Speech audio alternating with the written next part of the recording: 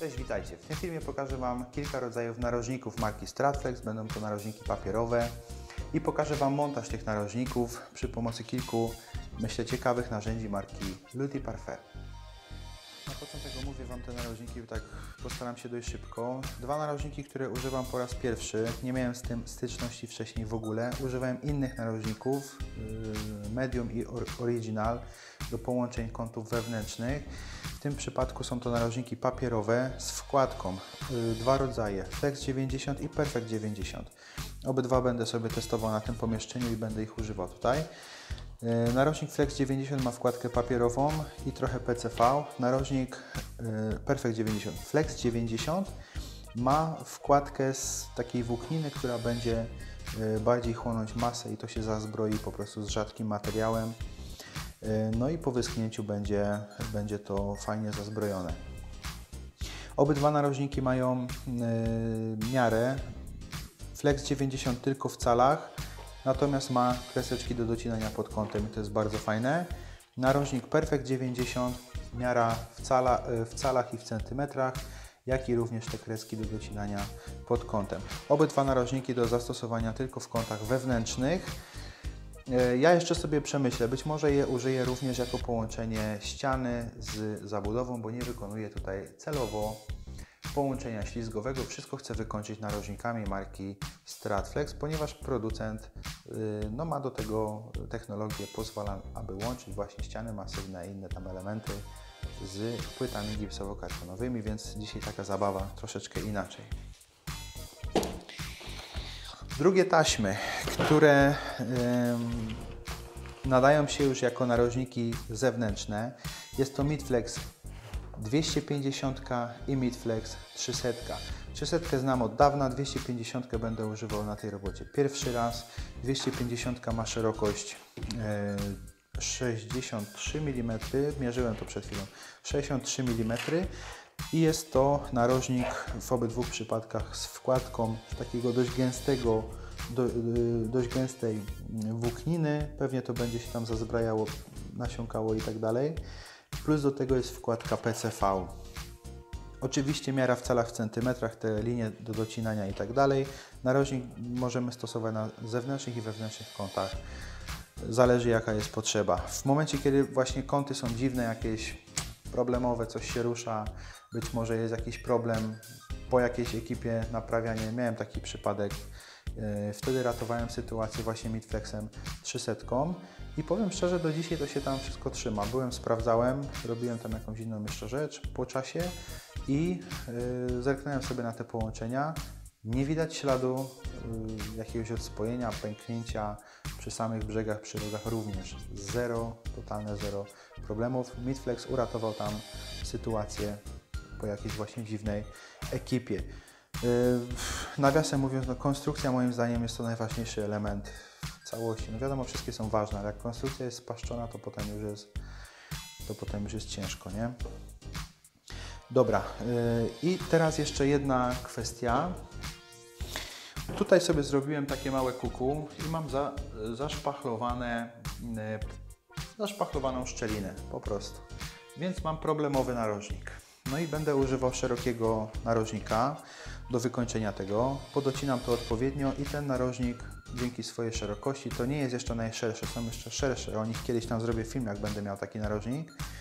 Natomiast on pozwala na ym, zazbrojenie czy wykończenie takiego dziwnego, problemowego miejsca. Jak i również mam jeszcze jedno takie miejsce, które mi wynikło. Musiałem tak zrobić po prostu. Mam dwie płyty, grubość dwóch płyt z boku do dwóch płyt przykręcone, nie? Fajnie to jest skręcone w, z profilem, natomiast niewłaściwie zapłytowane, ponieważ powinno się robić płyty na zakładkę, żeby na, na rogu wyglądało to w ten sposób, mimo podwójnego płytowania. U mnie są po prostu dwie grubości płyty. Musiałem tak zrobić, ponieważ tam były instalacje, inne rzeczy, musiałem to tam wykonać, zamknąć, no nieważne. Będę to zazbrajał również tym narożnikiem Midflex 300 i jestem pewny, że to będzie doskonale tam trzymało i tak dalej. Spróbuję również narożnikami papierowymi dzisiaj sobie wykończyć jedno okno e, otynkowane, czyli będę po prostu zastępował narożniki aluminiowe tymi narożnikami. Słyszałem, że tak niektórzy robią i chcę też spróbować, jak to się sprawdza w praktyce, jak i również wyrównywanie kątów, czy wykańczanie kątów wewnętrznych na właśnie otynkowanych gdzieś tam ścianach, czy sufit, ściana, albo ściana ze ścianą. No to się pobawię dzisiaj tym wszystkim. Dobra, e, tyle by było o narożnikach. No to teraz kilka słów o narzędziach. Narzędzia marki Luti Parfait, które widzicie na stole, to będzie część narzędzi pewnie. Ja będę sobie tam dobierał to, co będzie potrzebne, natomiast ogólnie chcę Wam opowiedzieć o tych narzędziach, pokazać Wam kilka nowości. Jest to bardzo ciekawe moim zdaniem i warto jest poświęcić temu kilka minutek. E, zanim o Luti Parfait to powiem jeszcze tak. Narzędzie do składania narożników będzie używane i będą używane rolki marki Stratflex. To wiecie, bo to jest standard, y, standard u mnie przy, y, przy tych narożnikach. To już gdzieś tam w którymś filmie było pokazane. Dobra, narzędzia Luti Parfait serii Decolis to jest bardzo taka fajna, wygodna seria noży, moim zdaniem. Ten okrągły uchwyt, okrągła rączka jest taka dość wygodna, fajnie się tym pracuje i tak dalej. Oprócz tego, że mamy różną, mamy pole do popisu, jeżeli chodzi o rozmiarówkę, od takich mniejszych czy innych, do nawet 900, 900 mm szerokości, to mamy do, do wyboru kilka twardości czy grubości blachy na ostrzu. 0,25 mm, blaszka, która jest bardzo mięciutka i ona się poddaje już, układa, ona nawet w procesie produkcji już jest, delikatnie się odkształca, jest po prostu bardzo cienkie, e, cienka blaszka, ale ona jest tak mięciutka, że ona się po prostu poddaje na ścianie tworzy już idealną płaszczyznę, ponieważ sam, sama konstrukcja noża y, powoduje to, że ta blacha się y, nie podgina, nie faluje i tak dalej. Ona jest dociśnięta do obudowy i bardzo fajnie się tym szpachluje. Jak i również 0,4 mm noże, które są nieco twardsze, tymi nożami możemy już szpachlować, spolinować, bardziej ściągać materiał, wyrównywać ściany i tak dalej. Są, po prostu, są to po prostu narzędzia twardsze. Tak wygląda porównanie, nieco inne te noże, inna długość, dwie serie takie podstawowe. Kolejną serią noży, to już jest wyjątkowo ciekawe narzędzie, innowacyjne podejście moim zdaniem, ostrze naklejane na uchwyt. I to też jest fajne. Y, po pierwsze, mamy więcej blachy, szersze narzędzie, łatwiej się to czyści z całej powierzchni naraz. Y, jak i również no to narzędzie o ten milimetr może dojść jeszcze bliżej, gdzieś tam nie rysując nam powierzchni ściany. Chociaż nie jest to potrzebne, ale ale w tym przypadku taka możliwość jest. Oczywiście wszystkie te noże współpracują z uchwytem i to jest e, system Decolis i pasuje to oczywiście do, e, do ten teleskop pasuje również jako teleskop do szlifierek i do lampy inspekcyjnej. To jest ten sam system, e, ten sam teleskop po prostu, ten sam uchwyt. Ok, tutaj mamy ostrze 0,3 mm i ono już jest, i te ostrze jest nieco dłuższe, po to, żeby ono sprawiało wrażenie miękkiego, mimo tego, że blaszka jest nieco twardsza. Nie? No ale konstrukcja narzędzia wymaga e, takiego zastosowania, powiedzmy, tej grubości blachy. Ok, ostatnim nożykiem do pokazania jest nożyk PVC, który się sprawdzi być może przy gładzeniu, ale na pewno przy, eleme przy elementach, przy materiałach, które mogłyby zostać ubrudzone a nie mogą.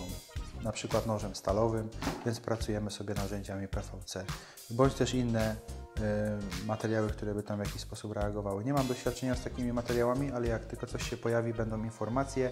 Te noże również występują w kilku tam chyba szerokościach podstawowych 60, 90, to jest 30. Nie? Mój ulubiony nożyk, e, najbardziej zajechany i najdłużej go mam w sumie, to jest pierwsze narzędzie. E, nożyk Parfelis 450 zajechany już, on jest teraz używany do szpachlowania e, na przykład kleju pod płytki na ścianach. Świetnie się to sprawdza. Wyrównywanie, szpachlowanie, takie haratanie można powiedzieć. No ale genialne narzędzie, ono po prostu robi robotę, zagładzić ten klej na zero, praktycznie bez żadnego śladu tam. Jest super, naprawdę jest super, więc też polecam do takich innych prac, nie tylko do gładzi. Te narzędzia sprawdzają się po prostu doskonale do, do innych tematów również. E, dobra, porównanie jeszcze krawędzi. Krawędź nieco zapadnięta i zaokrąglona, krawędź mocno zaokrąglona, więc to, to jest taka różnica. Wałki. E, ogólnie Luty Parfait wymyśliło sobie technologię do pracy z, przy spoinowaniu i narożnikach. Ja to wykorzystam pod narożniki, oni tam na swoim filmie instruktażowym pokazują to tylko i wyłącznie przy spoinowaniu. A więc mamy wałek 4, 4 no nie 4 cale, tylko w okolicy 80 cm. Ciężko go jest, że tak powiem, zdefiniować. Nie wiem, jak to tam jest w katalogu. No 8 cm. On jest teraz brudny. Yy, No nie myłem go po spoinowaniu, od razu będę używał dzisiaj do narożników. Natomiast bardzo ciekawy temat, ponieważ wałek pozwala na nałożenie masy właśnie yy, na fragmencie, który spoinujemy. Na to naklejamy taśmę, zaciągamy sobie to wszystko nożykiem decolis twardym yy, i to jest pierwszy etap spoinowania według Luty Parfait przy zastosowaniu właśnie tego innowacyjnego wałka moim zdaniem. Jest to bardzo ciekawy wałek. Yy, Drugim etapem, aha, i można pracować z ręki, można pracować z teleskopu. To też jest ciekawy temat. Drugim etapem jest szpachlowanie szerszym wałkiem i to samo szersze narzędzie potem. No i kolejnym etapem jest jeszcze szerszy wałek, ewentualnie szpachlowanie całopowierzchniowe. Wykonywanie sobie tej gładzi już na całej powierzchni, tam płyt gipsowo-kartonowych na przykład. Yy, Brakuje mi jeszcze, bo to jest 22 cm, brakuje mi jeszcze w zestawie wałka półmetrowego, ponieważ no, narzędzia mamy 900, 1000 mm, 1200 mm największe chyba są, więc wałek półmetrowy sprawdziłby się doskonale gdzieś przy większych powierzchniach. No i już taką gdzieś informację tam puściłem do Francji, zobaczymy. Może coś się uda zrobić. Półmetrowe narzędzie. Uchwyty mają półmetrowe w ofercie, ale tego wałka półmetrowego nie mają, więc może akurat się spodoba pomysł i zrobią. Dobra, zobaczcie teraz jak wygląda praca z tym wszystkim. Docinanie, formowanie, montaż narożników, ewentualnie jakieś tam rozszpachlowywanie pierwsze tego. Zapraszam do pozostałych moich filmów i jak zwykle życzę Wam miłej pracy. Trzymajcie się, hej!